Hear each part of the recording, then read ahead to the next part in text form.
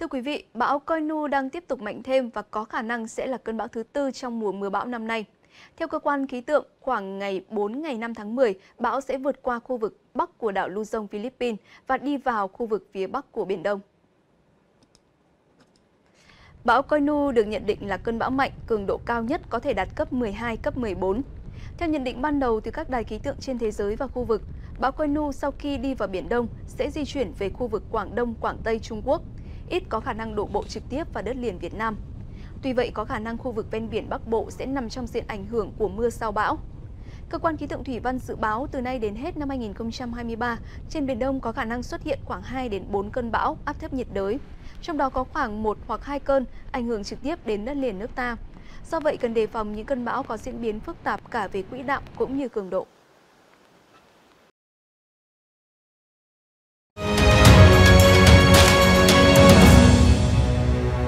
Thưa quý vị, thông thường vào khoảng thời gian này thì miền Bắc đã đón những đợt gió mùa đông bắc đầu tiên, nhưng trong năm nay dù là đã vào thu gần cả tháng nhưng mà thời tiết thì vẫn nắng và khá oi bức. Theo như thông tin của Trung tâm Dự báo Khí tượng Thủy văn Quốc gia, vào đầu tháng 10, miền Bắc có khả năng sẽ đón những đợt không khí lạnh đầu tiên. Theo tiến sĩ Hoàng Phúc Lâm, Phó Giám đốc Trung tâm Dự báo Khí tượng Thủy văn Quốc gia, miền Bắc có thể có đợt không khí lạnh vào khoảng ngày 7-8 tháng 10, khiến cho nền nhiệt giảm trời chuyển lạnh. Không khí lạnh trong giai đoạn cuối tháng 10, tháng 12 có khả năng duy trì liên tục, do đó mà vẫn có thể xảy ra tình trạng kết hợp giữa bão và không khí lạnh gây ra cho khu vực Trung Bộ. Cũng theo Trung tâm Dự báo Khí tượng Thủy văn, từ nay cho đến hết năm 2023, trên Biển Đông có khả năng xảy ra xuất hiện 3 đến 5 cơn bão, trong đó có khoảng 1 đến hai cơn ảnh hưởng trực tiếp đến đất liền của nước ta, cần đề phòng những cơn bão có diễn biến phức tạp.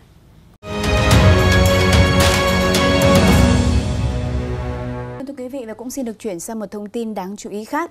Nhận định về các hình thái thời tiết trong tháng 10 năm 2023, ngày 1 tháng 10, Phó trưởng phòng Dự báo Khí hậu Trung tâm Dự báo Khí tượng Thủy văn Quốc gia Nguyễn Đức Hòa đã cho biết, trong tháng 10 thì có khả năng xuất hiện trên khu vực Biển Đông khoảng từ 1 cho đến 2 cơn bão, áp thấp nhiệt đới và có thể ảnh hưởng đến đất liền ở nước ta các đợt mưa vừa mưa to vẫn tiếp tục có khả năng xảy ra tại khu vực Trung Bộ, Tây Nguyên và Nam Bộ. Đồng thời hiện tượng mưa rông lốc và rét kèm theo mưa đá vẫn tiếp tục xảy ra trên phạm vi toàn quốc, báo Công an Nhân dân đưa tin. Nhiệt độ trung bình trên phạm vi toàn quốc phổ biến cao hơn so với trung bình nhiều năm từ 0,5 đến 1 độ C và có nơi cao hơn. Vào tháng 10 năm 2023, tổng lượng mưa trên khu vực Bắc Bộ, Tây Nguyên và Nam Bộ phổ biến ở mức sấp xỉ trên so với trung bình nhiều năm, cao hơn từ 5 cho đến 15%. Khu vực Trung Bộ phổ biến ở mức sấp xỉ dưới, thấp hơn từ 5 cho đến 15% so với trung bình nhiều năm cùng thời kỳ. Ngoài ra, bão áp thấp nhiệt đới, gió mùa Tây Nam và không khí lạnh có khả năng gây ra gió mạnh, sóng lớn, ảnh hưởng đến các hoạt động trên các vùng biển, hoạt động hàng hải, đánh bắt hải sản của ngư dân. Cùng với đó, việc tiếp tục xuất hiện các hiện tượng thời tiết nguy hiểm như rông, lốc xét, mưa đá trên phạm vi toàn quốc có thể ảnh hưởng đến sản xuất và các hoạt động dân sinh. Thưa quý vị, Chủ tịch Ủy ban nhân dân xã Bảo Thắng, huyện Kỳ Sơn, Nghệ An, Mong Văn Lợi cho biết, khoảng 9 giờ sáng nay ngày 1 tháng 10, giữa lúc thời tiết đang nắng giáo, bất ngờ xuất hiện trận lũ ống tại bản Cha Ca 1, xã Bảo Thắng. Trận lũ ống bất ngờ xuất hiện giữa trời nắng trang trang, hàng nghìn các khối đất đá tràn xuống khe suối. Sự việc kéo dài khoảng 7 phút và cuốn trôi hàng nghìn mét khối đất đá bùn xuống khe suối và đường gây ra ách tắc. Rất may là vụ việc không ảnh hưởng đến người và tài sản. Nhiều tuyến đường trên địa bàn của huyện Kỳ Sơn bị sạt lở gây chia cắt. Tại huyện Kỳ Sơn, mưa lớn trong mấy ngày qua đã khiến cho nhiều đoạn đường liên xã, liên huyện đang bị chia cắt một cách nghiêm trọng. Hiện tuyến vào trung tâm xã đang bị sạt lở nhiều vị trí khiến cho hàng trăm hộ dân bị cô lập. Toàn xã có 480 hộ dân, gần 3.000 nhân khẩu hiện đang bị cô lập. Người dân muốn đi mua nhu yếu phẩm phải đi xe máy đường vòng hàng chục km xuống huyện Tương Dương. Chủ tịch xã Bảo Thắng cho biết thêm là khoảng 4 ngày trước, nơi đây cũng đã xảy ra lũ ống cuốn đất đá trôi theo dòng khe nhỏ xuống và nguyên nhân do đất đá sạt lở ở đầu nguồn nên là dòng nước cuốn trôi xuống dưới. Sau khi xuất hiện lũ ống thì chính quyền xã cũng đã cho người túc trực theo dõi lại hiện trường để có những biện pháp xử lý kịp thời và an toàn.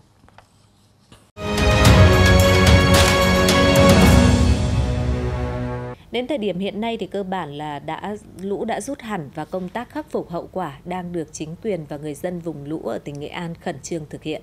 Tuy nhiên thì do thiệt hại lớn trong khi điều kiện nguồn lực của địa phương còn hạn chế nên là công tác khắc phục còn gặp nhiều khó khăn. Theo ước tính, mưa lũ đã gây thiệt hại hơn 200 tỷ đồng. Ba ngày sau cơn lũ dữ đi qua, nhưng những người dân ở vùng lũ Quỳ Châu như anh Thống vẫn chưa hết bàng hoàng khi nước lũ cuồn cuộn đổ về trong đêm.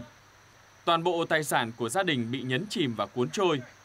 Căn nhà ngang của gia đình cũng đổ sập hoàn toàn.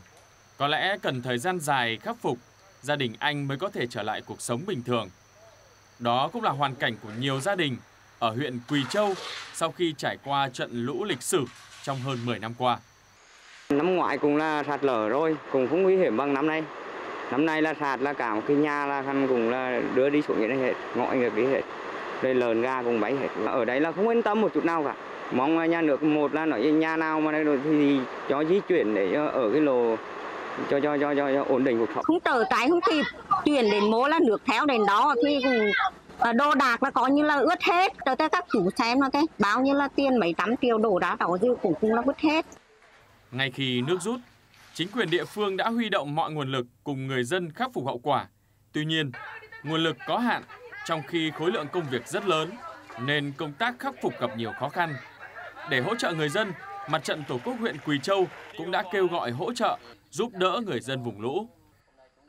Thì bây giờ chúng tôi đi uh, ủng uh, hỗ trợ nóng là chi trong đó là tổng cộng bây giờ là ngày hôm nay chúng tôi là chi ra 12 triệu tiền mặt trong quỹ thiên nguyện đã kêu gọi ủng hộ được để chi cho mỗi xã là có 4 suất nóng còn chúng tôi tiếp tục kêu gọi để ủng hộ uh, được càng nhiều càng tốt. Chúng tôi đang còn ra soát nhưng mà ước tính là khoảng hàng trăm tỷ đồng trên cái lĩnh vực nông nghiệp rồi là à, thủy lợi, thủy sản và chăn nuôi, đặc biệt là hệ thống giao thông và các cái công trình phúc lợi thì đều bị hư hỏng hoàn toàn.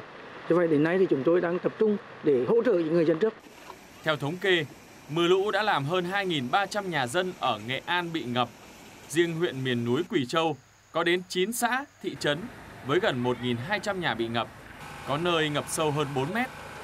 Mưa lũ đã làm một người chết, hai người bị thương do sạt lở đất vùi lấp. Hơn 16.000 hecta lúa hoa màu và cây trồng các loại bị ngập, hư hỏng hoàn toàn.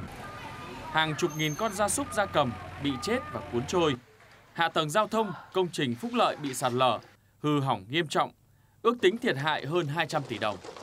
Lũ lên vào ban đêm cho nên là nhiều gia đình là đã bị cuốn trôi qua chúng tôi đi thực tế để bị cuốn trôi hết ờ, tất cả tài sản và hoa màu thì cũng bị thiệt hại rất lớn cho nên là chính quyền cũng cần phải có những cái giải pháp để hỗ trợ cái thứ hai nữa là cũng phải tập trung vào cái công tác ờ, mà vệ sinh môi trường ờ, để phòng dịch bệnh. Giả soát đánh giá cụ thể để phân loại xác định ưu tiên đầu tư một cách ờ, hợp lý. Những cái khu vực nào mà trọng tâm trọng điểm thì chúng ta phải đầu tư trước. Mọi thứ vẫn còn rất ngổn ngang trong khi chính quyền địa phương cùng người dân đang huy động mọi nguồn lực để khắc phục hậu quả mưa lũ, sớm trở về cuộc sống bình thường, thì tình trạng sạt lở đất đang xảy ra nhiều nơi, uy hiếp tính mạng và tài sản của người dân. Thưa quý vị, là khoảng 16 giờ ngày 1 tháng 10 vừa qua, tại tuyến đường tỉnh 719 dọc biển tại khu vực xã Tiến Thành, thành phố Phan Thiết, nước lũ kéo theo cát đỏ trên đồi tràn xuống khu dân cư và đường ven biển gây ra tình trạng là ách tắc giao thông và ảnh hưởng tới sinh hoạt của người dân. Theo người dân địa phương, mấy năm trước cũng diễn ra tình trạng cát đỏ tràn xuống khu vực sau các trận mưa, song mức độ không lớn như năm nay.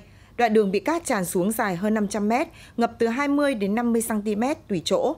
Lượng cát tràn xuống quá nhiều khiến cho xe cộ không thể lưu thông tại đoạn đường này. Nhiều nhà ven đường của người dân bị cát tràn vào. Một mố cầu ở thôn Tiến Hải cũng bị lũ cát làm sập. Chính quyền xã Tiến Thành đã khẩn trương phong tỏa đoạn đường, đồng thời huy động lực lượng đến để giúp đỡ người dân dọn dẹp khắc phục sự cố ngay trong đêm.